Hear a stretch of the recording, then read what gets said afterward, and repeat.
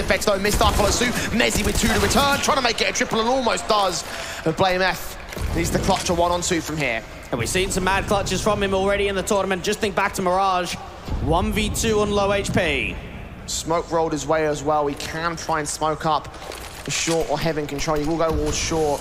Plant down, pretty open just behind default. Needs to try and win this duel onto the AWP. Backstabbing Monster.